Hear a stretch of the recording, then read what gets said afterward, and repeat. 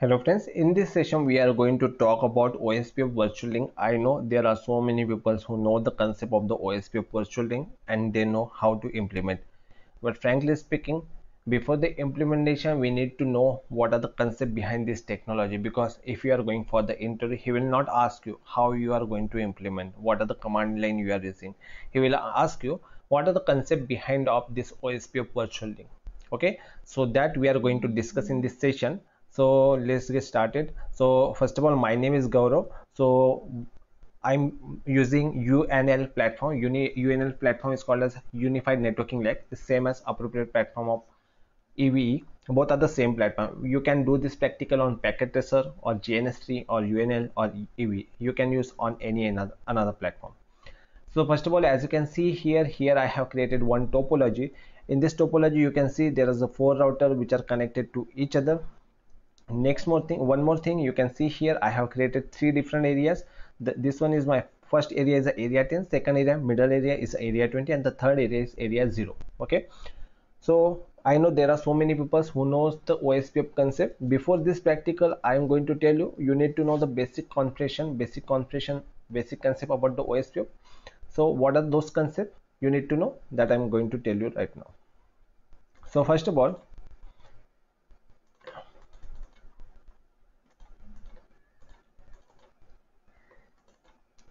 okay. So suppose that if you are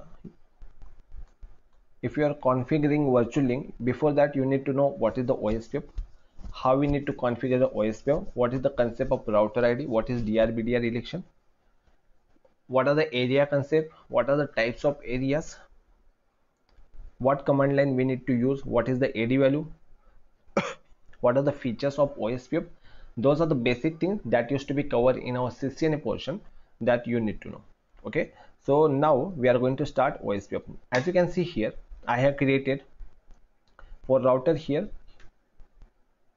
I have created this topology. In this topology there is a four router. Okay one minute.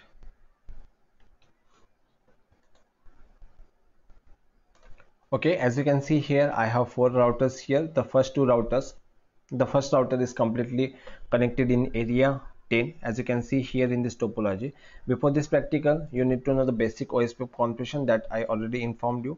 So as you can see here here is my router one. Router one there is a one interface ethernet 1 0 slash 0 IP address is 192.168.1.0 1.1 that I have configured here. As you can see here here is a, my another router router 2 router 2 is connected to the area 10 and here is connected to area 20 as well as as you can see here router 3 router is connected one interface is connected to area 0 and another interface is connected to area 20 now before starting the practical as you can see here i didn't do any configuration on i didn't do any ospf configuration on on all this router. So first of all i will do one thing i will i will configure router 1 router 2 and router 3 and router 4 okay? So first of all here is my first router so i will show you what basic configuration i have done on this router. Show ip interface brief i simply provided the ip address. I didn't create any loopbacks. So i will do one thing. I will create some loopbacks here. So what what loopback i will create here? So i will do one thing. I will create here on r1 10.10.10.10 slash 32 that is very easy to understand this is the configuration if you are thinking I am doing little bit fast so you can pause and you just check it. What are the configuration I have done here? So as you can see here now show IP interface brief. That is a verification command what IP address I have provided on interface. So as you can see here 10.10.10.10 slash 32 I have configured this loopback. On R2 I will configure 20.20.20.20 so what I will do here I will create the I will configure router ID manually. So for manually purpose uh, I will provide it this 10.10.10.10 on our, router 1 as a router ID on router 2 I will configure 20.20.20.20 this is the virtual interface. If you don't know what are this loopback that that you should know because uh, for uh, OSPF configuration this is very necessary. We need to know. Router 3 I'll configure on router 3 okay 30.30.30.30 255.255.255.255.0 okay oh sorry 25 slash 32 I'm configuring. That's the mistake. Okay done. Same thing I will have to configure on router 4 interface loopback 0 40.40.40.40 255.255.255.255 no shutdown okay. So I have just done the basic configuration. Now I have provided the IP address and I have configured all loopback interfaces on router 1 router 2 and router 3 and router 4 all of the routers. So now I will start basic configuration of OSPF later I will show you how to configure the OSPF link and why we need to configure OSPF link because concept is important. Practically everybody knows because these are the only two or three commands. That is very easy commands. Anybody can use it. Okay? But before that if you know the concept that is a like good point. So first of all i'm going on router 1 so i will configure here router ospf 100 so as you can see if you put the question mark that is the beauty of the cisco ios so if you put in the question mark you will know you will get to know what are the next command you have to write. So as you can see here here they are asking about the process id so i will do one thing. I will use process id 100 you can use any number whether it is 200 300 400 500 60,000 50,000 whatever. It it can be anything. Next thing I I am going to configure router ID manually. Router ID 10.10.10.10 okay? Next thing now I am going to configure interfaces in area ID so first interface 192.168.1.0 I am configuring network okay? Because that network I need to configure in particular area which I have mentioned in my topology. So this particular network is mentioned in area 10 so I'm going to configure. So next thing if you put the question mark in OSPF they are asking about the wildcard mask. So I, what I will do here I will configure here wildcard mask because this is my uh, class C network. So obviously class C subnet mask is 255.255.255.0 so I just need to put here instead of subnet mask I will put here wildcard mask area 10 okay? Next thing I have loopback here. So I will configure my loopback here 10.10.10.10 so as it I am configuring that's why I'm putting this thing. Show run pipe section OSPF for checking the configuration what configuration we have done on OSPF so these are the command.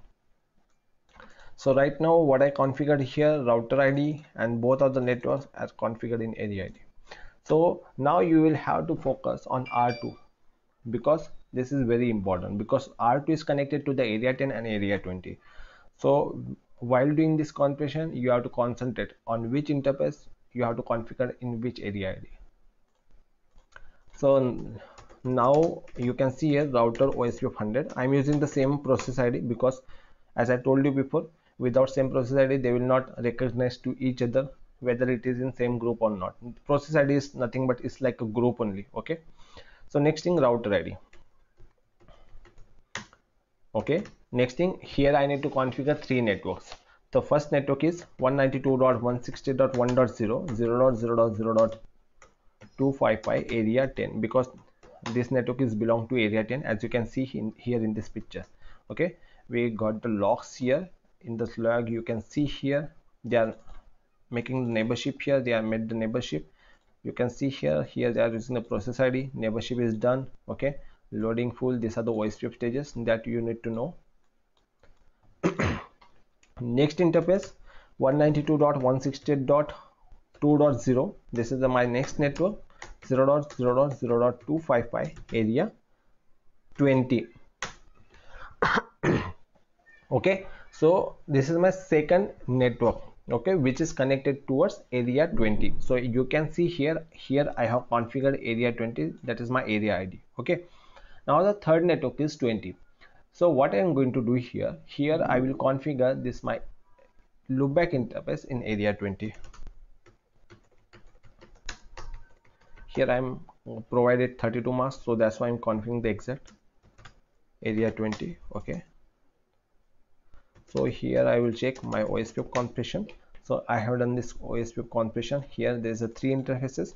This is my loopback this is my ethernet 0 slash 0 interface and this is my ethernet 0 slash 1 interface network okay? So let's jump to the router 3 on router 3 as you can see here three interfaces. One is a loopback router ospf 100 that is process id router id 30.30.30.30 next one is network 192.168.2.0 0.0.0.255 area 20 that we need to mention. Okay see neighborship done.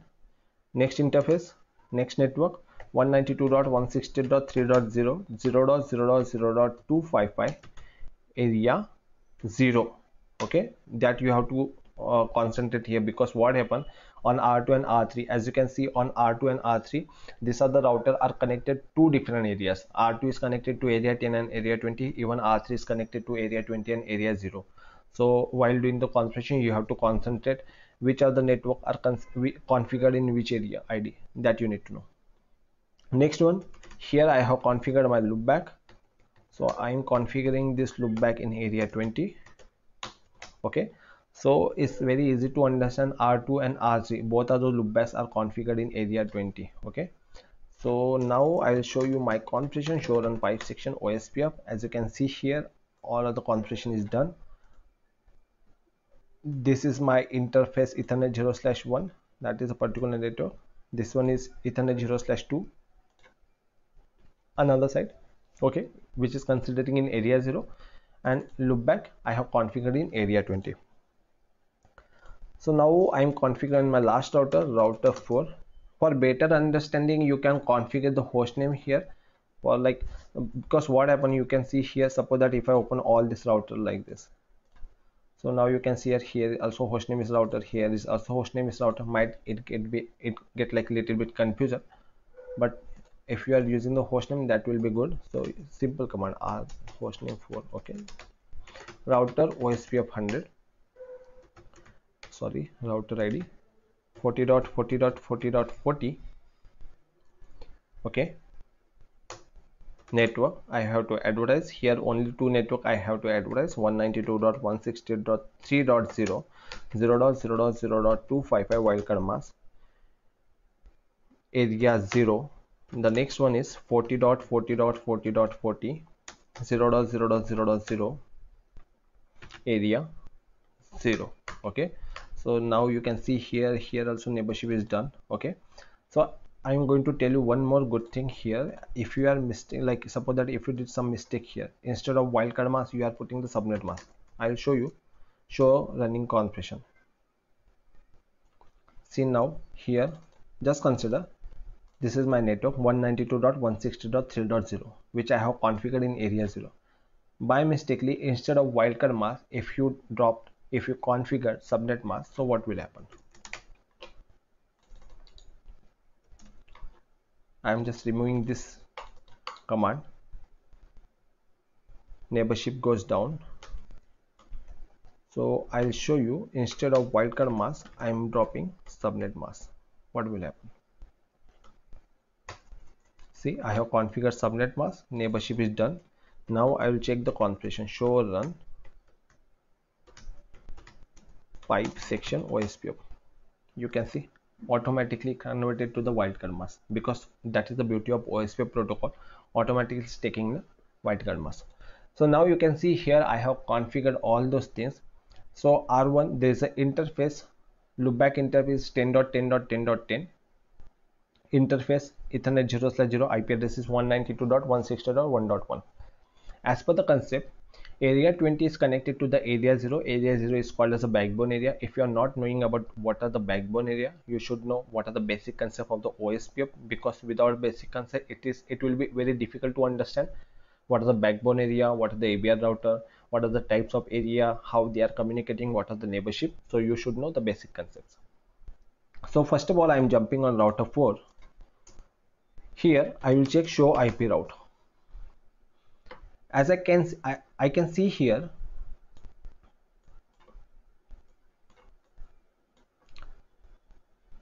R1 is connect R1 having directly directly connected routes. So 40 network which is directly connected R4 I'm talking about R4 next thing 192.168.3.0 this network also is directly connected here. We can see here. Next one those route which is coming from the another area. It will be we can see here OIA OIA that is called OSPF inter area those route which is coming from the another area. So now you can see here I cannot able to see here 192.160.1.0 network which is belong to area 10 as well as 10.10.10.10 network which is also belong to area 10 what what's going to happen here what is exactly happening? What happened? Area 0 is a backbone router. Area 20 is the area okay? So what what happened here? Wherever the area? Like area 20 is connected to the area 0 okay? If any area is not connected to the area 0 so those router means like here is there is a two network 192.160.1.0 and 10.10.0.0 this network which will not coming to area 0 that is the main problem. For that purpose we need to use the virtual link. Now you can see here on r4 on r4 routing table i cannot able to see 1 not 192.160.1.0 network as well as 10.10 10.10 this network. Okay. So now you can see here there's a one router router 3 and this is router router 2 these are the two routers which is connected to the different areas so what what i'm going to do here with the help of virtual link i will transfer this particular networks to area 0 so before the configuration i need to create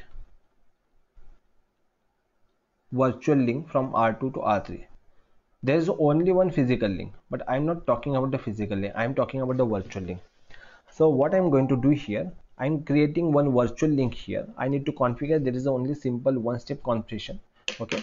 So once i configure these things so now automatically you can see on r4 r4 is able to understand is able to learn the network which is advertised by area 10 okay. So there's a very basic configuration. So focus on the configuration only. So first of all i'm going on router 2 router ospf 100 okay? Process id area 20 virtual link okay? Because r2 is making a neighborship with r3 30.30.30.30 okay? Same thing i'm going i'm going towards router 3 and i'll configure router OSPF 100 area 20 virtual link 20.20.20.20 okay so now what happened? I have created show IP OSPF neighbor. You can see here here is I have created one virtual link. Means what happened? R2 and R3 now in between them there is a one virtual link. Okay so with the help of this virtual link means what happened? What i did here now it is like this area area 10 is directly connected to the area 0 instead of area 20 exactly this is happening in between in middle of between them okay? So if i if i check configuration on r4 show ip route now you can see here i can able to see 10 network 10.10.10.10 network which is advertised by area 10 as well as 192.160.1.0 network which is also advertised by area 10 this is how we need to configure OSPF virtual link. Okay. So uh, suppose that if you are if you have completed your CCNA program suppose that if you're going for the any interview if he's asking for the OSPF virtual link uh, most probably will not you will not going to give the answer because what happened because you don't know the what is the exact answer. Because in CCNA program OSPF virtual link concept is not there so for that purpose you need to know what is the ccnp program. In ccnp program there is a so many uh, concept about the ospf lss that you need to know. So ospf virtual link is a concept coming under the ccnp level program. In ccna might they will ask you if area 0 is connected to area 20 area 20 is connected to the area 10 so is it possible area 10 route will redirect to area 0 so that is not possible because what happened as per the concept area 0 is my backbone area whatever the areas is coming to the picture or area should be connected to the area 0 because area 0 is backbone router. So now here in this topology area 10 is connected to the area 20 and area 20 is connected to the area 0 means what will happen? Area 0 will understand this much networks only. Okay he will not able to understand area 10 so what happened? With the help of virtual link what will happen? What we have created here we created one virtual link. It means r3 is directly connected to the area 10 now okay? So as per the concept area 10 now is connected to the area 0 so they are sharing their networks. So this is how we need to configure OSPF virtual link. So this is a very easy method for the configuration. You just do the configuration. If you have any doubt you just comment on below. So i'll definitely give the answer. So thank you so much. Bye bye